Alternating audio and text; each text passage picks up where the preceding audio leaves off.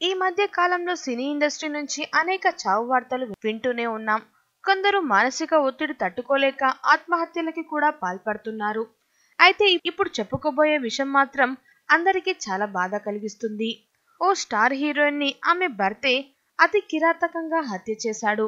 నడిబొడ్డున రక్తపు బట్టలతో ఆమె విగత జీవిగా పడి ఉంది. ఇంతకు ఆమె ఎవరో కాదు. ఒరియా నటి సిమ్రాన్ సింగ్.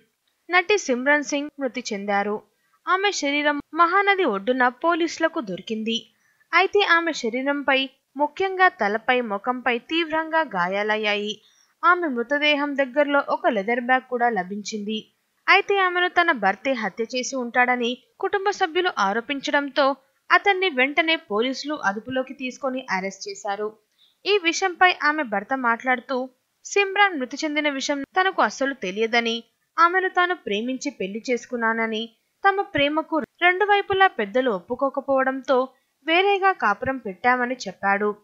అంతేకాకుండా గత కొంతకాలంగా తమ మధ్య విభేదాలు రావడంతో ఇద్దరు వేరేవేరేగా ఉంటున్నారని స్పష్టం చేశాడు.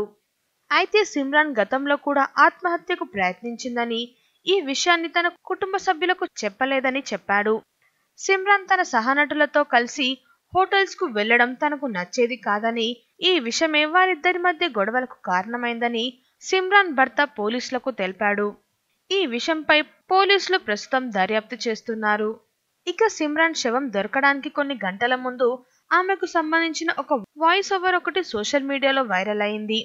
అందులో తాను చాలా అలసిపోయానని త్వరలోనే ఈ ప్రపంచాన్ని విడిచిపెడుతున్నట్టు చెప్పుకొచ్చింది. ఇక Simran Singh Sambalpuri albums selfie బేబో రిక్షావాలా Rimjhim more girl friend to Dulquer Raja DJ బాబు రిటర్న్లో నటించి బాగా పాపులర్ అయింది. అయితే సిమ్రాన్ సింగ్ ది హత్య లేక ఆత్మహత్య అనే కోణంలో ప్రస్తుతం పోలీసులు దర్యాప్తు చేస్తున్నారు. ఈ కేసుపై మరిన్ని వివరాలు తెలియాల్సి ఉంది.